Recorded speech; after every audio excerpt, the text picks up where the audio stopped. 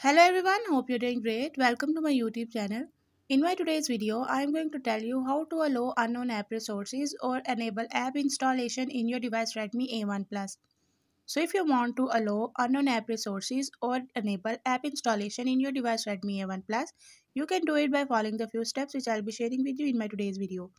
But before that, hit the red subscribe button and the bell icon so you are the first one to know when I upload anything new.